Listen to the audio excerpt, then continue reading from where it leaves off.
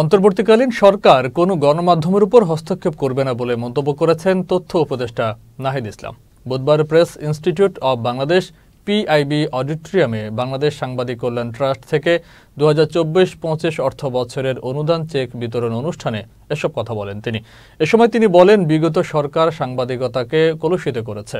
গণভ্যুত্থানের মাধ্যমে পাওয়া দেশ পুনর্গঠনের কাজ চলছে জানিয়ে নাহিদ ইসলাম সকলকে সহযোগিতার আহ্বান জানান। অনুষ্ঠানে প্রথম পর্যায়ে তিনশো পঞ্চাশ সাংবাদিকের হাতে অনুদানের চেক তুলে দেওয়া হয়। মিডিয়ার যে বিভিন্ন আইন রয়েছে, কালাকানুন রয়েছে, যেগুলো গণমাধ্যমের স্বাধীনতার অন্তরায়, সেই কালাকানুনগুলো আমরা বাতিলের জন্য চেষ্টা করছি, পর্যালোচনা করছি। ইতিমধ্যে সাইবার সিকিউরিটি এক বাতিল হবে বিষয়ে সিদ্ধান্ত হয়ে গেছে।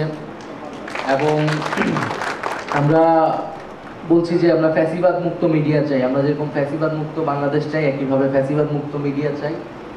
যে মিডিয়া হাউসগুলোতে সাংবাদিকদের যেভাবে নির্যাতন করা হয়েছে, হাউস কর্তৃপক্ষ দ্বারা, এবং এই আন্দোলনের সময়ও, তো সেই মিডিয়া হাউসে যারা আসলে নির্যাতন নির্যাতকের ভূমিকায় ছিল, হুমকি দিয়েছে, হয়রানি করেছে, তারা কিন্তু সেই মিডিয়া হাউসগুলোতে এখনও আসলে রয়ে গেছে।